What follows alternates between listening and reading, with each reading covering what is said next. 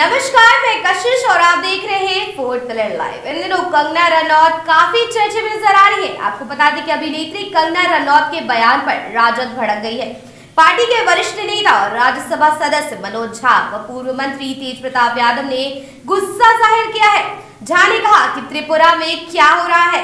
हक की बात करने पर यूएपीए लगता है, लेकिन कंगना रनौत उन्नीस के बजाय 2014 में आज़ादी की बात करती हैं तो उन्हें पद्मश्री मिलता है। यह दुर्भाग्य है कि देश को कहा खड़ा कर दिया गया है।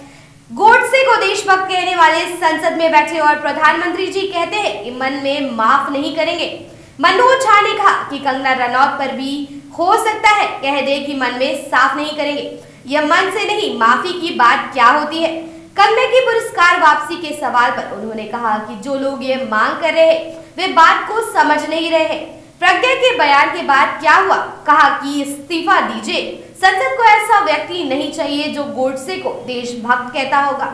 आपको बताते चले कि तालिबान हमें पड़ोस में नहीं दिखता, मेरे सामने दिखता है।